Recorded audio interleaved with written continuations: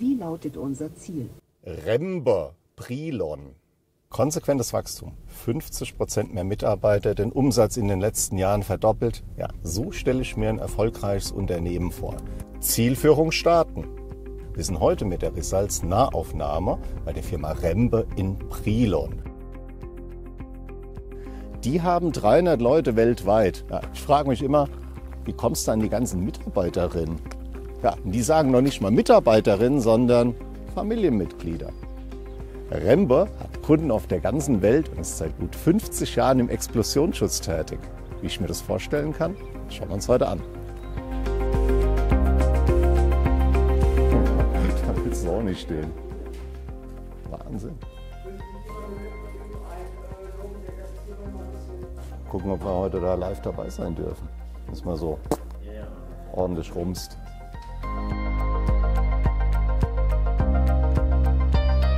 Was es beim Explosionsschutz geht, erklärt mir heute der CEO von Rembe. Stefan, Explosionsschutz, ist das nicht ein Nischenprodukt? Ja, auf jeden Fall. Also das passiert jetzt nicht äh, alle Tage, so eine Explosion. Aber wenn es soweit ist, dann äh, kann das wirklich tödlich sein. Ne? Das kann ganze Anlagenteile, ganze Fabriken zerstören. Und da tun wir unser Bestes, dass das erst gar nicht so weit kommt. Wie entwickelt ihr jetzt die Produkte? Jagt jetzt einfach Sachen in die Luft? Ja, absolut. Anders geht's nicht. Wir müssen das live ausprobieren, denn nur alleine die Theorie reicht nicht.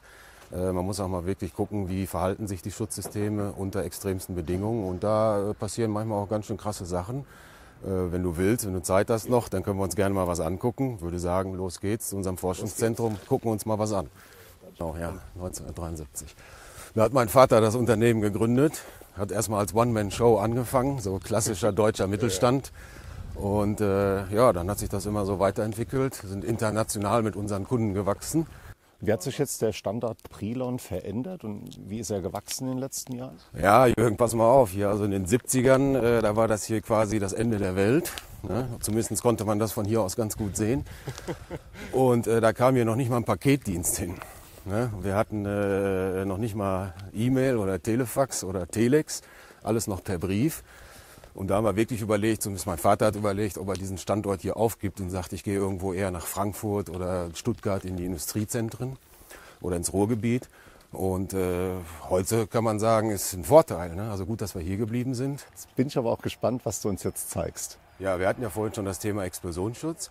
Und da muss man sich jetzt vorstellen, dass wenn man Anlagenteile hat, die äh, geschlossen sind, also hier so ein Behälter, ein Silo, eine Förderanlage. Und da ist Staub drin oder vielleicht auch sogar entzündliche Gase.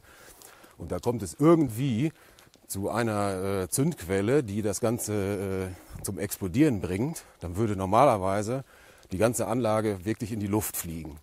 Und was wir machen ist, äh, wir bringen ganz kontrolliert Schwachstellen rein mit sogenannten Berstscheiben. Das zeigen wir dir nämlich gleich die dann äh, kontrolliert diesen Überdruck der Explosion rauslassen. Ja, dass also nicht das Ganze kaputt geht, sondern nur unser Produkt kaputt geht. Aber es geht ja nicht kaputt, sondern es macht seinen Job. Es lässt kontrolliert den Druck raus und dann kann man einfach das Teil wieder wechseln und ein paar Stunden später geht's weiter. Ähm, Der Behälter selbst hat eine Explosionsdruckfestigkeit von 16 bar. Äh, In diesem Fall haben wir auf der Rückseite des Behälters eine Adapterplatte installiert, wo wir eine Berstscheibe prüfen werden. Und diese Sollbruchstelle sorgt dafür, dass sie wie eine, wie eine Tür öffnet, nach unten wegklappt und den, den ganzen Querschnitt als Druckentlastungsfläche freigibt. Das heißt also, die reißt an diesen drei Stellen auf und klappt nach unten weg. Ah, okay. Ne, deswegen Gut. haben wir diese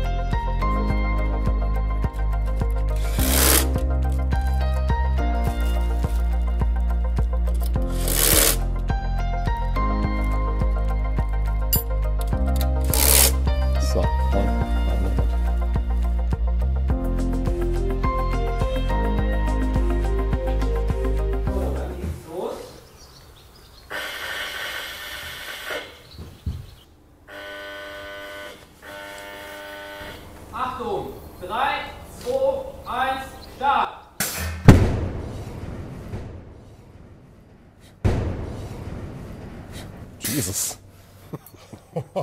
Ordentlicher Rums. Ja. Noch Fragen?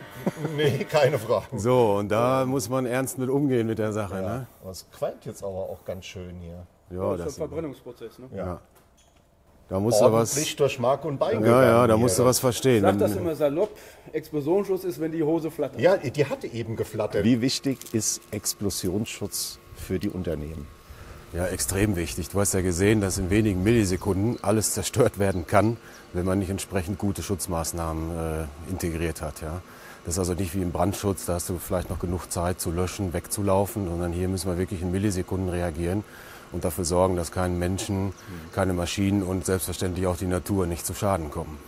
Rembe, Safety is for Life. Ich sehe, ihr setzt das Motto auch genauso um. Wie kommt ihr an diese ganze Innovationskraft? Wie, wie entwickelt ihr euch weiter? Ihr seid enorm gewachsen. Wo kriegt ihr denn die Leute überhaupt her? Ja gut, äh, das ist äh, schon nicht ganz einfach, vor allem hier auf dem Land äh, entsprechend gute Leute zu bekommen.